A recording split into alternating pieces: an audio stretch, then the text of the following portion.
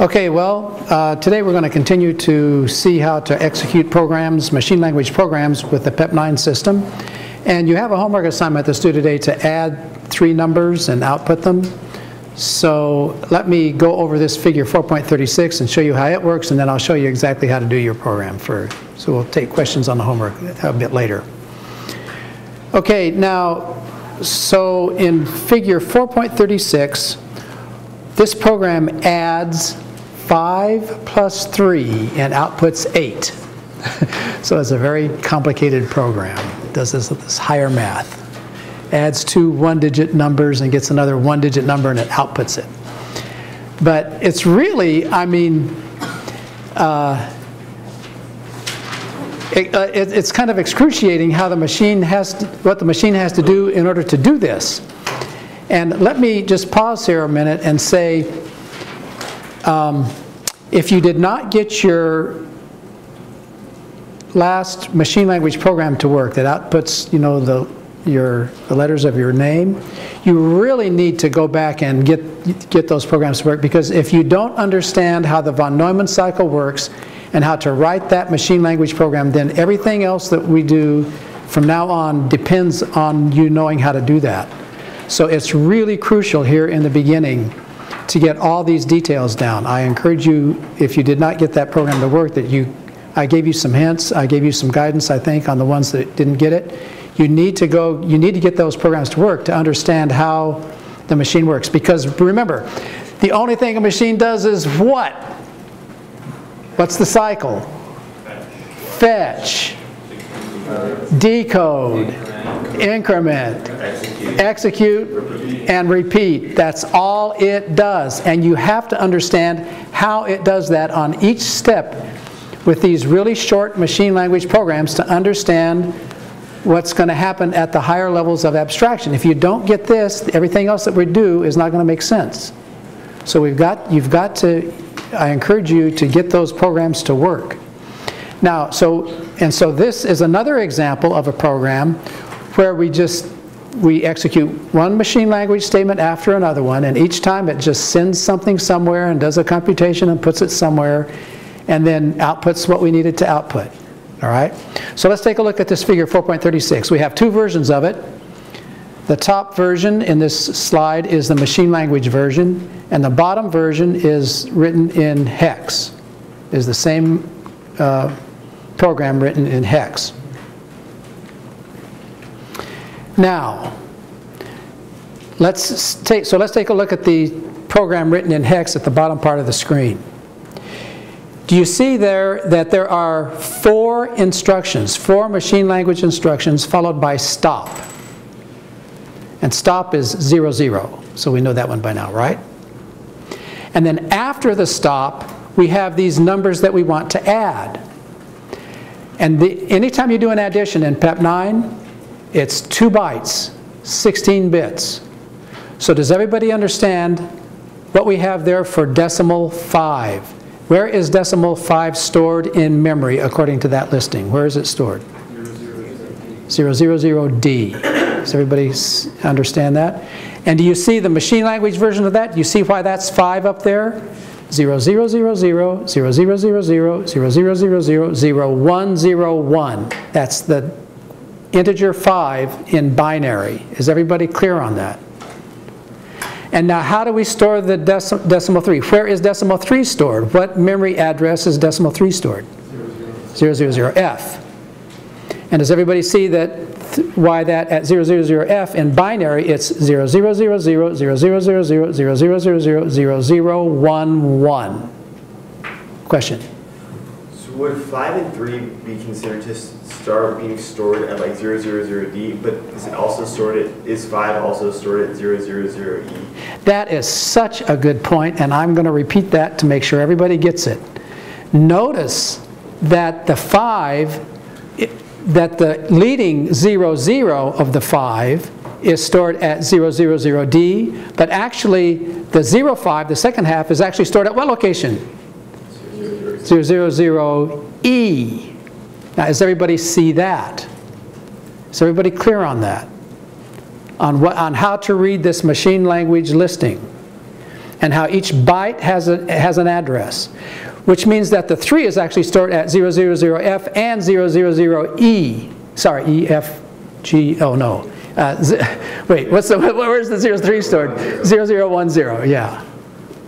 Now, is everybody clear? That was a good point. I'm glad you brought that up, yeah. So they're stored in both locations? It's like, kind of, you see them as, as the same thing? Yeah, and so what happens is when the add, when, when you do a load word and you tell it what address to load it from, it actually takes, you're giving it the first byte, you're giving it the address of the first byte to load, but then it also loads the one next to it because the accumulator is two bytes.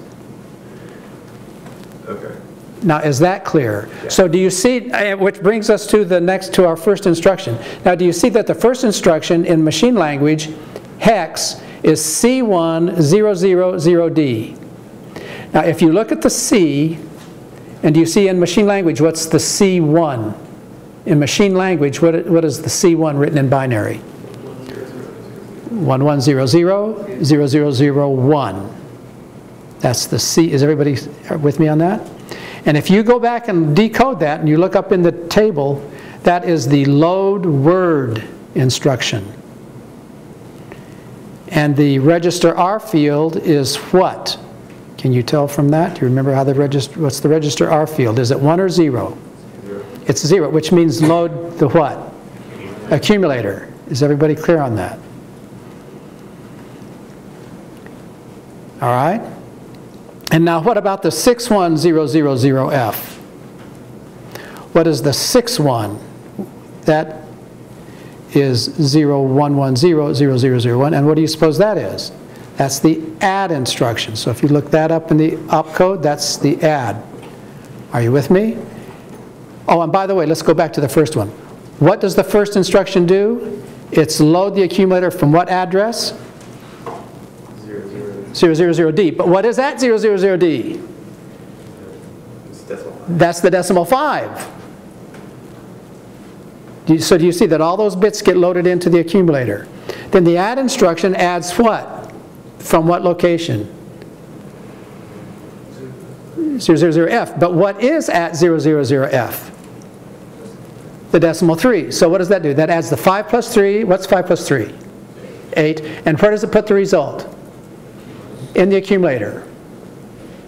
So after that point, the accumulator has 8 in it. Are you with me? Now, here's the point of this program. We cannot now simply output the 8. Why not? Because we need to output an ASCII character. Are you with me? So at- do you, does everybody see that after the addition, what's going to be in the accumulator? In the accumulator, after the addition, it will be, it will be the, it will be the binary for 8. Now what is that? That There's 16 bits, so what would that be? 1000. Now does everybody see that that's what will be in the accumulator after that addition? Question? Um, so that's why we use C1 for load word instead of D1 for load byte. Yes, that's a good question. Notice that what we're doing is we're loading word. The reason is because there is no, is because when you do add, you add a complete, you, there is no add byte instruction in the instruction set. You add words. So all of our arithmetic operations and logical operations are all done on 16-bit quantities. And that's why we store everything as a 16-bit quantity. You see, because we add 16-bit quantities. Is everybody clear?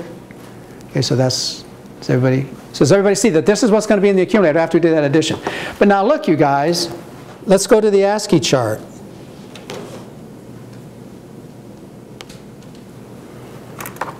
Here is the ASCII chart. Now, in order for in order for the output to come out correctly, what do we need to output? The what? What do we need to output? Here's on the ASCII chart. What do we need to output? The what? Um, The character 8. Now, let's take a look at that char- let's take a look at, at the character 8. is there an operation that will do that? Well, now that's what we have to figure out. Do you see, according to this ASCII chart, that what is the character 0? Here, let's, let's just write a few of them down. What is the character 0? It's what? One, one, zero, zero, zero, Yeah, it's, it's 0, 1, 1, 0, 0, 0, 0. And what is the, that, that's the character 0. What is the character 1? Uh, zero. 0, 0, uh, 0, 1, 1, 0, 0, 0, 1. What is the character 2? 0, 1, 1, 0, 0, 1, 0, etc. Right? Does everybody see what's going on here? So here's the thing, here's the thing. What we need to do is, whatever numeric value that we have, so what we need to do is we need to convert from the numeric value to the ASCII character value. So that's what we need to do. So convert from numeric to ASCII. Now tell me, what is the difference between the numeric and the ASCII? Because look, if you just look at this part of it, this is 0, 1, 2. So, but the numeric value has what? All, what, what? What do we have in the accumulator? All zeros. So tell me, what do you have to do in, in binary, what do you have to do to convert a numeric value to its equivalent ASCII value? You have to insert what? What do you have to stick in there? You, ha you have to stick in what? 1, 1. Do you see? Does everybody see what you have to do? You have to stick it, you have to, you have to insert this one at this position. You have to stick in a 1, 1 at this position to convert it. So look, here's how you do this in binary. The way you do this in binary is, let's say you have the number, let's just say you have the number, um, the digit, um, what is the digit uh, 5? Let's, let's, let's convert 5. What's the digit 5? The digit 5 would be stored how? So here is, this is numeric 5. So what would that, how would that be stored in binary? 0, 0, 0, 0, 0, 0, 0, 0, 0, 0, 0, 0, then what? 0, 1, 0, 1, right? And to get the character out of that, what do you have to do? You got to make these two the you got to make these two ones. So watch. Here's what we do. We have a mask. And here's our mask. 0, 0, 0, 0, 0, 0, 0, 0, 0, 0, 1, 1, 0, 0, 0, 0. And what do we do with this? What is this is called masking in binary. And what do we do with this? What what do we do with this mask value to convert it from here? What operation do we do? What operation do we do that will bring everything down unchanged, but that will stick these ones in here? Well, yeah, don't do addition. Add will addition will work, but that's not the way you would do it. It's or, because zero is the what of or. Zero is the identity of or. So zero or anything will just bring this down. But one or anything is what? One. So does everybody see, if you do this OR operation, this will be 0, 0, 0, 0, 0, 0, 0, 0, 0, 0, 1, 1, 0, 1, 0, 1. And at that point, what will happen? This will be the, the correct character that we can output with a store byte to the output device. Now, is everybody, does everybody see how that worked? So now let's go back to figure 4.36. So check it out, you guys. What do you suppose that F, oh, first of all, where is our mask? What does it say, what does it say our mask is? It says mask for the ASCII character. What is that? 0030. Now, does everybody see that that's 0, 0, 3, 0? Is everybody clear on that? You see where that comes from? See, we're bit twiddling here. We got to know how to, you got to understand what happens at the binary level, this bit twiddling. Are we good? So there's our 0030. We OR that with this, and that converts our, this will convert the decimal 5 to the, to the ASCII 5. Of course, in our program, it'll be the, it'll convert the decimal 8 to the what? To the ASCII 8. If whatever result it is, it'll convert the decimal to the ASCII. Does everybody see how that works? So now, what is the instruction 910011?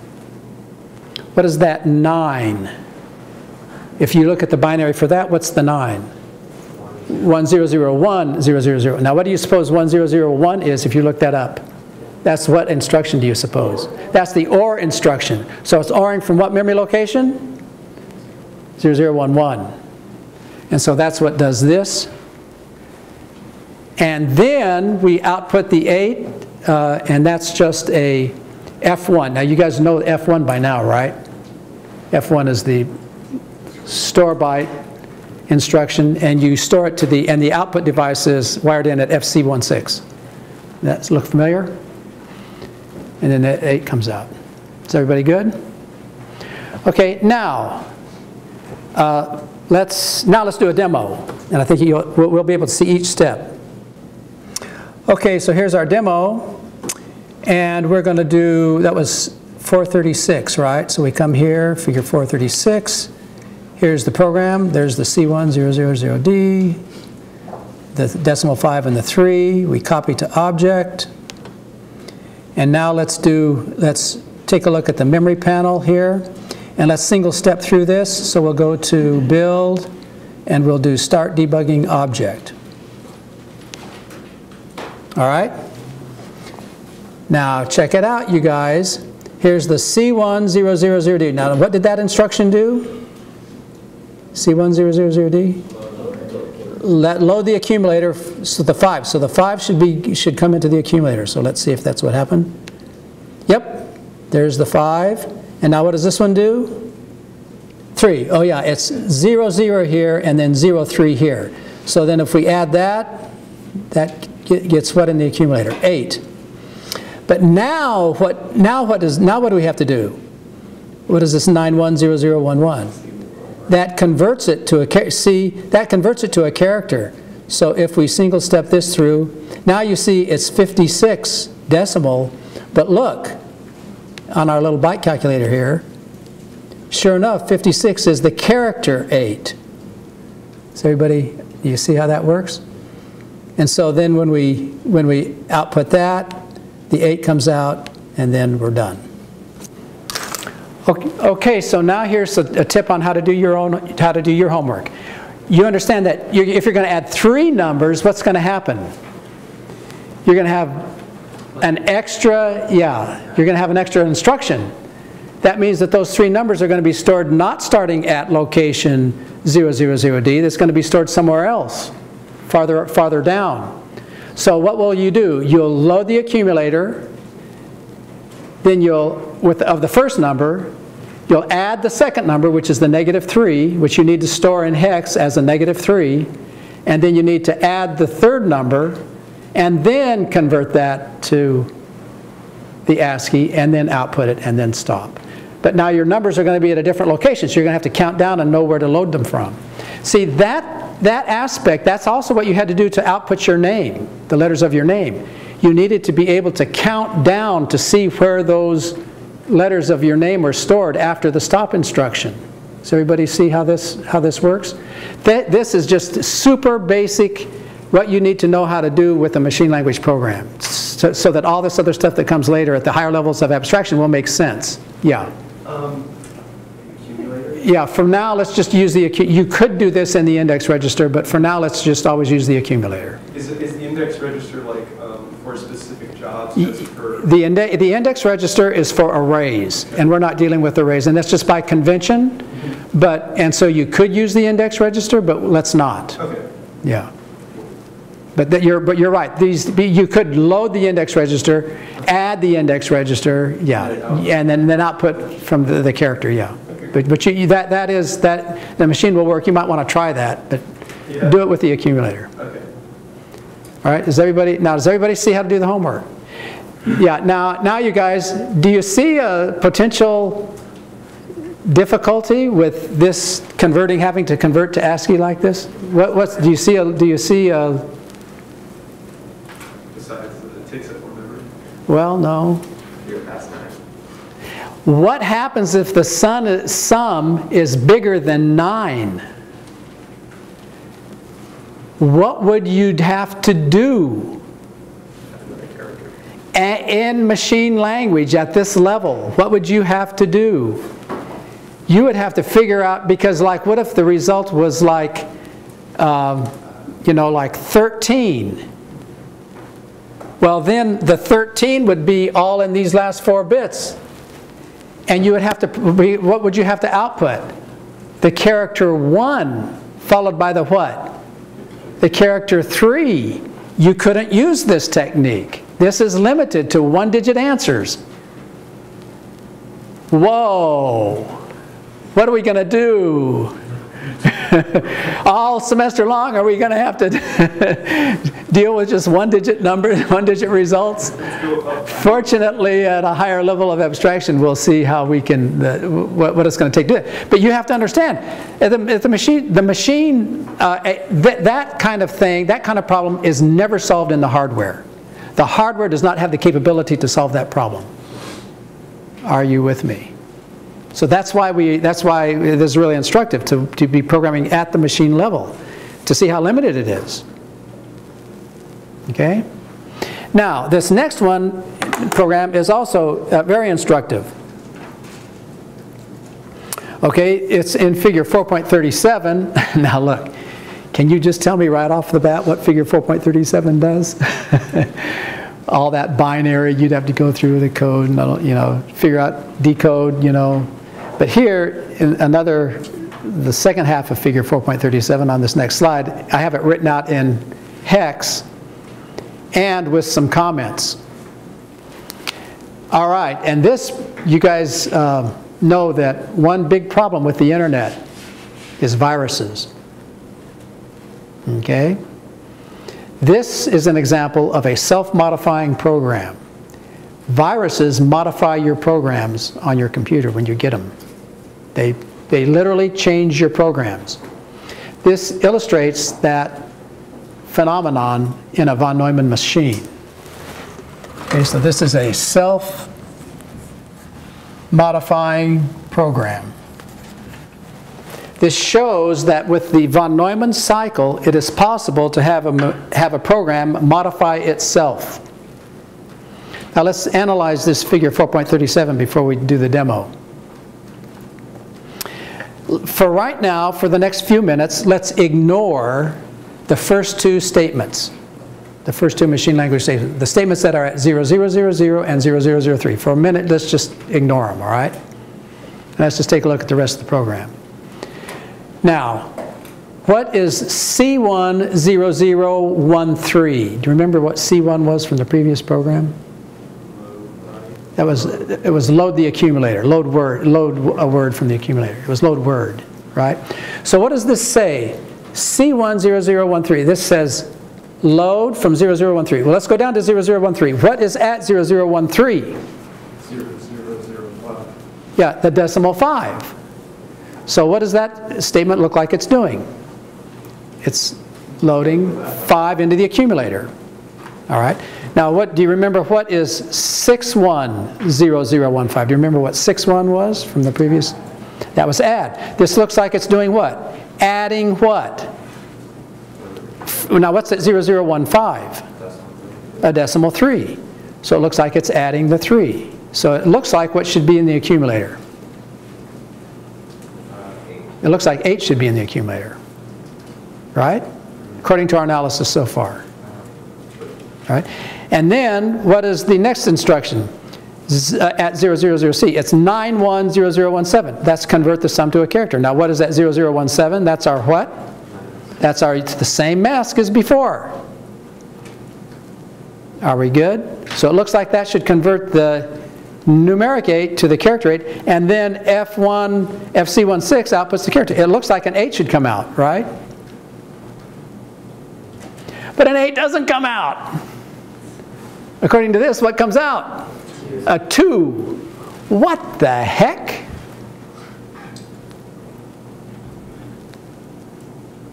A two is coming out, not an eight. What in the world is going on? Well, now let's go back and take a look at those first two instructions. D1 0019. D1, do you have your does anybody have the book? Can you look up D1? Well, actually, I have it here in the, in the comment. What is it doing? It's load byte accumulator from what memory location? 001. Well, what is at 0019? 71. Now, if you go back up here and look at it in binary, the 71, do you see that's 0111, 0001? So does everybody agree that that load byte puts that in the right half of the accumulator? Are you with me? Now, what's the next instruction? Store byte accumulator. So now it's going to put it somewhere. But look, where does it put it? At zero, zero, what? Zero, nine. What the heck? What is at zero, zero, zero, nine? That is, wait, what is it? That's that add instruction.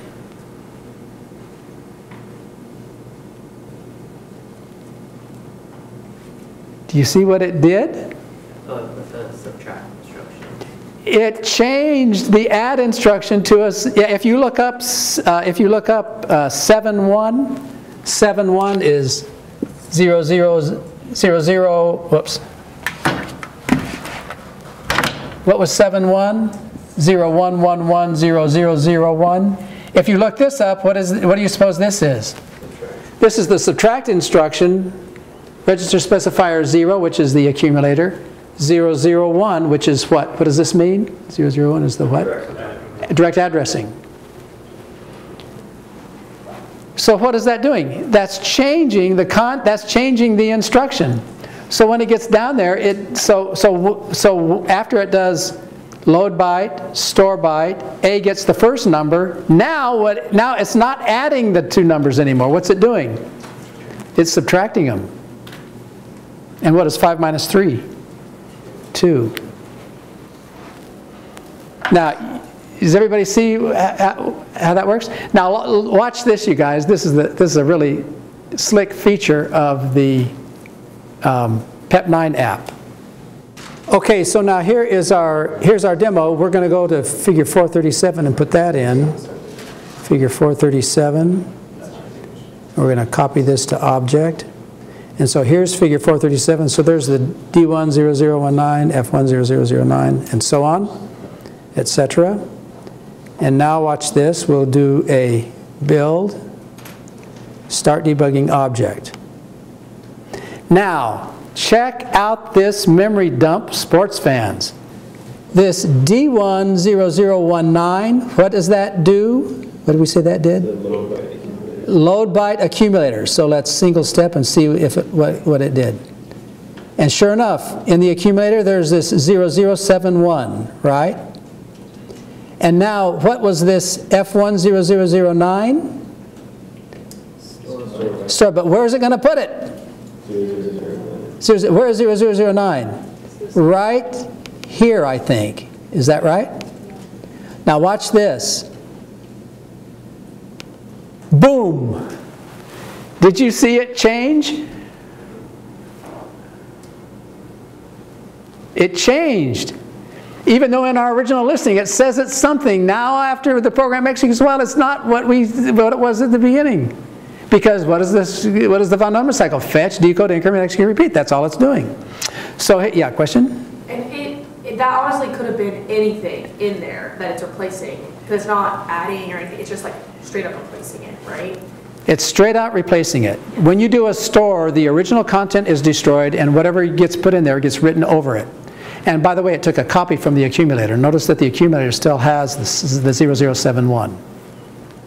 And this, and I programmed, this was just a program to illustrate that I could have changed it to another one, you know. to a different instruction or whatever. Does everybody see that, that that's what happened? And so now, and so now, now what, what is this next instruction, C10013, what does that do? Well, what did that do? Load a word, Lo- Load the accumulator with what? a word from The, yeah, and which one? range zero zero one three. Yeah, yeah, so, so that puts the 5 in the accumulator, right? Is everybody clear? But now look, the, the von Neumann cycle, it has a 7-1 there. It doesn't know that it was changed. It just does what? Fetch, decode, increment, execute, repeat. It fetches it. Whatever it is, it's in the hardware to decode it the way it's, and if it's a 7-1, that's a subtract instruction. The hardware has no concept of where those bits came from. There's no history. Does everybody see that? This is super important computer system principle. Are we good? Okay, so here, so then, so now when we single step, what's going to happen? It does the subtract, and that's the 2. And then it changes it to the ASCII 2, and out comes the 2, and then we stop. Now, does everybody see how that works? So this is what viruses do. They come in, they know where your instructions are, they modify the instructions so that then when it happens, it's a branch instruction to the vi- virus code, and they take over, and then they jump back. And, but th- they can do it. Why is that? Because these, all these machines are von Neumann machines, and they are, they are built on fetch, decode, increment, execute, repeat. Okay, so now are there any questions about that? About how that, how that happens? And I'll, I'll tell you right off the bat, right now, um, on the next exam or two, I'm going to give you self-modifying programs. And so you're going to have to be able to figure out, trace, you know, that's a favorite, I just, it's just a favorite question, so I'll just tell you right off the bat. I, I just love giving these kinds of questions because, because you have to be able to figure out how it gets modified and what it gets modified to and do the decode. So you got to be able to think like a, think like a machine. Yeah? Okay, now are there any questions about any of this stuff so far? About the homework, about how to do the homework? Okay? Or the self-modifying program. Okay, so now, um, the next few slides here, we're going to wrap up today by showing you some real world, some real physical machines. Now, um, I think everybody in here who has a laptop, whether it's Windows or Mac or whatever, they, all these laptops, they virtually all have a, an Intel chip or, a, or an Intel compatible chip. And the, uh, also all desktop machines are usually, 90% of them are, are Intel chips. And the particular chip is called the Intel X80, X86. And the X86 architecture is, um, it stands for a whole series of CPUs that were originally designed by Intel, starting with the 8086 and the 8286 and the 8386 and the 46 and the Pentium, and now it's called Core. And this whole family of this whole family of uh, chips that were uh, that are designed by Intel, they have all evolved over de many decades. And so here is, and so what I would like to do is show you some of the features of the x86 chip, and which is what you're running now, and compare it with, so we can compare it with PEP9. So here in figure 4.38 is a picture of a 32-bit model of, from the x86 architecture. Okay? And one, one of the things that uh, you should notice right off the bat is that the registers are 32 bits long. So in PEP9, how big is a how big is the how long is the accumulator? How long is the index register in PEP9? How many bits? Two bytes, which is 16 bits. So this is 32. So the, these are like twice as long. Are you with me? Now, in the early days, they um, the registers were like, well, in the early, early days, the registers were like 8 bits. But then in the, in the semi-early days, the, for, for, for a long time, personal computers were, had like 16 bits. That was just like PEP9 is now. They were really tiny. And now, uh, and then they expanded, I think, um, to 32 bits. I think with the Pentium 4, that's when they went to 64 bits. But each model of the Intel chip was backward compatible with the previous model, and so you can run them in, you can run a 64-bit processor in 32-bit mode so that you can run 32-bit legacy software on it. And um, the, so let's take a look at these registers. There are four general purpose registers, EAX, EBX, ECX, and EDX. So we have one accumulator, x86 has like, these are like four accumulators. Do you see what I mean? So there's more, you know, there's more registers to do stuff with in the x86. The ESI is the, the ESI and the EDI, that I stands for index register. So we have one index register, the x86 has two index registers. So that's, that SI is the source index register and the DI is the destination index register. So it's got, you see, so it's bigger, you know, in a real machine, they got more, wider, you know, longer registers, more index registers. Um, what do you suppose the ESP corresponds to? Stack pointer. Yeah, that's the stack pointer. So there's the stack pointer, the SP. And the BP is the base pointer. We don't have a base pointer. That's, you read about that elsewhere. And the EIP, that IP stands for instruction pointer. That's what they call the program counter. Okay, so that's the EIP. And then the, um, the registers are subdivided into um, into a half. So like if you want to access the right half of EAX, that's, the, that's AX. And then how, how, long is, how long is AL? How many bits is in AL? Eight. So that's like a byte. That's the right, rightmost byte. So you can access some byte commands, you know, put things in the right half byte. Now, you'll notice also that there's a difference in the, in the numbering convention. Notice that the, oh, well, notice that the, um, the register, the E-flags register, how are the bits numbered? Starting from the zero on the right. So that's different from our convention, okay? Our convention is to number them from left to right. Their convention is to number them from right to left. All right, and there's another little complicate. Oh, let me just show you now what about the E, the E flags. So we have four status bits, N, Z, V, and C, shown here in figure 4.39.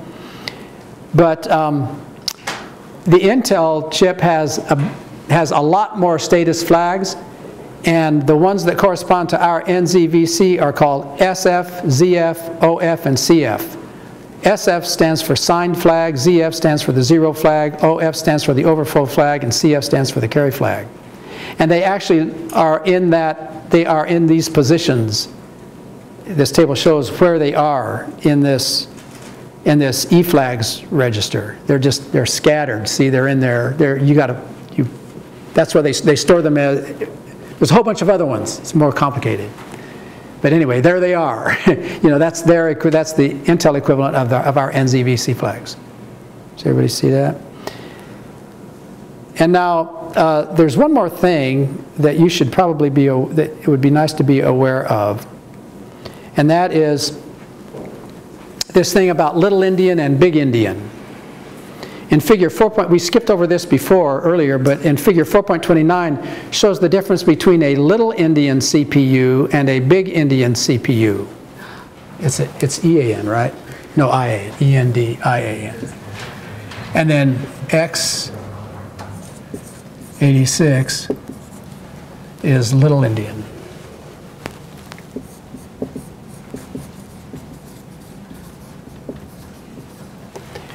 And this has absolutely no fundamental significance at all. This is just a convention. All right? There's nothing to this. This is just a, this is just a, a, a detail that you have to deal with when you're dealing with real machines. You see what I'm saying? So there is no fundamental, I mean, the engineers, they just, some engineers, when they designed the first chips decades ago, they decided to do it one way, and other engineers decided to do it the other way, and they're incompatible, and, you know, That's, that's just the way it is. That's just the way it is in the real world, all right? So in a little Endian CPU, check this out in figure 4.29. And uh, with a little Endian CPU, in memory, if you have 92EF and you do a load word, what order does it get put in? EF92, because they start from the right and they go to the left. That, I mean, when you deal with x86, you got to deal with this. It's a headache. You see what you see what we're saying? Okay? And here it's even worse. If you have a this is the way it is in the Intel chip, a 32-bit register load. In memory, if you have 89 AB, CD, EF,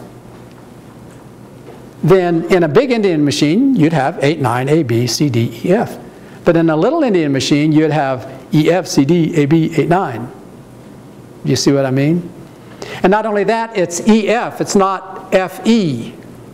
You see, so it's, I mean, it, it- but then, then, then some manufacturers, they would do it all the way down to the bit level backwards, you know, starting from the right. It's just, it's just not, it's just nonsense to have to deal with that. There's no funda, and by, by the way, does anybody know what Endian, why they call it Endian? E, it's E-N-D-I-A-N. Gulliver's Travels, yeah, you know about the little Endians and the big Endians? The, the egg, do you crack the egg Crack the egg on the big side. on the, on the, on the little side or the big side? You remember that from Gulliver's Travels? Yeah, so that's, and it's a, it's a good metaphor because, you know, what difference does it make what side you crack the egg? What difference does it make, you know, it's of no fundamental significance. But anyway, fortunately, we, our PEP-9 is a big Endian machine and we don't have to deal with that stuff. And here in figure 4.40 is an example of the x86 add register instruction. So look, it has an opcode, it has a D field for desti- uh, D field, an S field, a mod field, a register field, uh, you know, all these fields, and you got to you you know you got to parse them all out to decode it and figure out what each one means and all that kind of stuff. Here the opcode is 0000000. I think this is the add instruction. Yeah, add register. So this adds the content of one register and puts it and adds it to adds it with to another register and it puts the content back in one of the registers. So, so anyway, you know, and you can read about this. I've got some more information about how to decode this instruction in the book, in the little sidebar in the book. Okay. So now, um, a few words about memory devices. Um, there are, there's two kinds of memory. There's read-write memory, and then there's read-only memory. Okay, have you, you guys know, have you heard of ROM and RAM? Most people have heard about ROM and RAM. So the thing about read-only memory is that it has to do with loads and stores. So what happens is, if you have a read-only memory chip wired into your memory system and you and you do a store then now store is from what to what? CPU to memory or memory to CPU CPU to memory. So if you do if you have a value in the accumulator and you store it to ROM what happens is the the storage in ROM doesn't change. You can you can go ahead and execute the instruction but the but ROM do- ROM will not change you see what, so it's, it's, the difference between ROM and RAM is that, is that if, with RAM, if you store it to RAM, it changes the memory, what's in the memory location, but in ROM it does not. So the, the pattern is built, burned into ROM and it's unchangeable. Okay? And here in figure 4.41 is a picture of what is called the memory map. And we can see then that the operating system, and this shows where everything is in memory. Okay, now let's end with this. Let's end with this. Let's end with this review. What is the C memory model?